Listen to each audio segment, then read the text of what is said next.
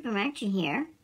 As a hospital worker during the height of the pandemic, Debbie found her mental health declining. Then a FaceTime call led to her spontaneous decision to adopt Hotaru, a choice that brought companionship and happiness during a time of isolation. As you will recall, 2020 was a crazy year, especially when working in a hospital right when the COVID pandemic hit. And it was even crazier when Debbie started a new job as Assistant Administrative Director of the laboratories at the same time. Because of the nature of that job and the environment she worked in, she had to isolate herself from family and friends to keep them safe.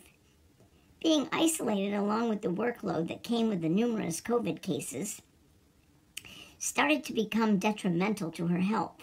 All these issues exacerbated her ongoing mental health issues with anxiety and panic disorder, and she realized she needed some joy in her life to make it through. One day, while having face wine time with two girlfriends who were both cat moms, she decided she should adopt a cat. And that's how she fell upon the Brooklyn Bridge Animal Welfare Coalition.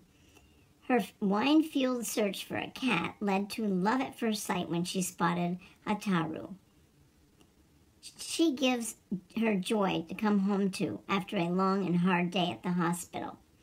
The moment she arrives home, Hotaru scampers to the door to greet her and rubs against her legs. She's happy to have her home and that it's feeding time. It did take her a while to open herself up, but it's amazing to have a companion to watch TV with and to give her little head nuzzles. She's really helped her pull through a dark time during the pandemic. So much so, she adopted another cat through Brooklyn Bridge Animal Welfare Coalition as well. So you can say Debbie is now a full blown cat mama.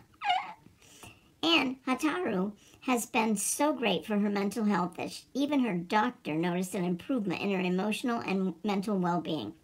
She's literally taken over her entire life and lives in her house rent free.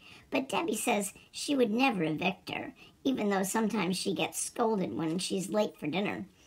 Even when Debbie tries to sleep in, Hotaru plops herself next to her to remind her not to forget it's breakfast time. Learning to care for Hotaru not only taught Debbie to care for herself, but to learn to love life again.